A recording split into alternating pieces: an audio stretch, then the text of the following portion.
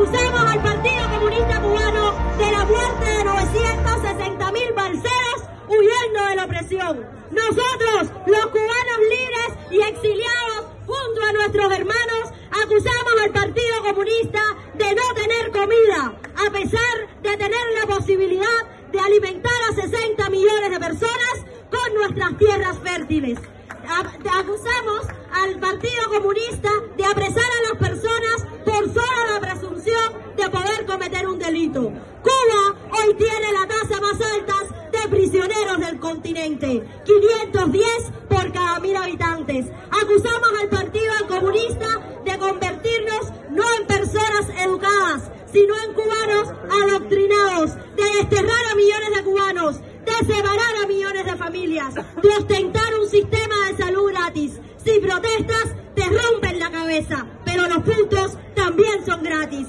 Acusamos al Partido Comunista de asegurar un trabajo digno con un salario indigno que nos garantiza una vida indigna y repito, indigna, de arruinar nuestro país, de empobrecer nuestra cultura y educación, de eliminar la burguesía y establecer la monarquía castrista, de eliminar la explotación del hombre por el hombre y establecer la explotación del hombre por el Estado, de violar todos los derechos humanos y del mayor crimen de la historia de los cubanos, el hundimiento del remorcador 13 de marzo.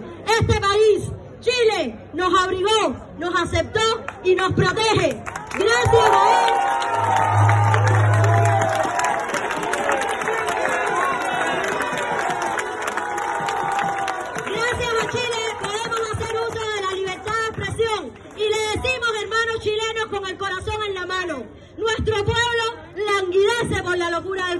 El hambre, la enfermedad y la falta de libertad. Esto es el resultado del único bloqueo que debe condenar la ONU, el bloqueo del Partido Comunista. Hoy necesitamos más que nunca su ayuda. Hoy necesitamos más que nunca que el mundo condene al régimen totalitario, dictador y genocida. Necesitamos más que nunca que miren a Cuba, a Venezuela, a Nicaragua, que condenen el comunismo que engaña a pueblos enteros mintiendo. Ese que busca los hombros de los pobres para erguirse en ellos y declararse defensor con el solo y rabioso objetivo de hacerse con el poder y nunca más soltarlo. Hermanos chilenos, Chile está en peligro como nunca en la historia. Atiendan bien sobre todo los constituyentes.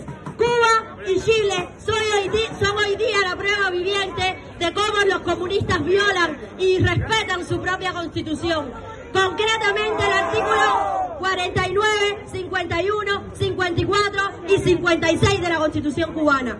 El pueblo de Cuba solo ejerce su derecho constitucional, exige un cambio de sistema, libertad y derechos inalienables de cada ser humano. Derechos que por 62 años nos han quitado. Vimos el 11 de julio por primera vez en mucho tiempo a un pueblo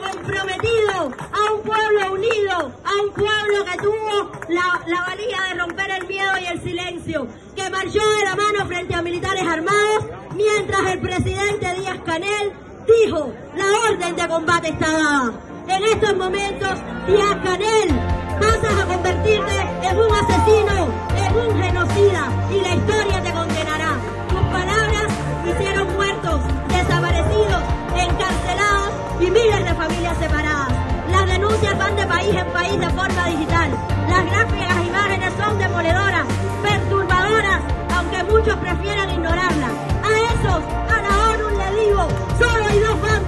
los que condenan y los que callan. Solo los comunistas ciegos y sordos mirarán la cara ante la realidad.